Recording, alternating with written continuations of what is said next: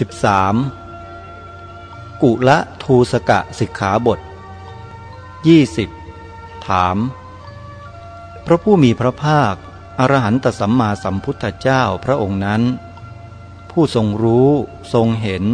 ทรงบัญญัติสังฆาทิเศษแก่ภิกษุผู้ประทุษร้ายตระกูล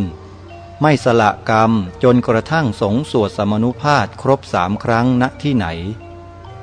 ตอบ ทรงบัญญัติณกรุงสาวัตถี ถาม ทรงปรารบใคร ตอบ ทรงปรารบพระอัสชิและพระปุณพสุกะ ถาม เพราะเรื่องอะไร ตอบ เพราะเรื่องที่พระอัสสชิ และพระปุณพสุกะ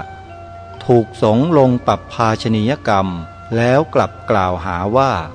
พวกภิกษุลำเอียงเพราะชอบ ลำเอียงเพราะชัง ลำเอียงเพราะหลง ลำเอียงเพราะกลัว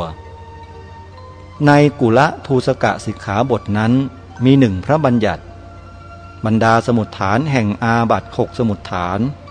เกิดด้วยสมุดฐานหนึ่งสมุดฐาน คือเกิดทางกาย วาจา กับจิต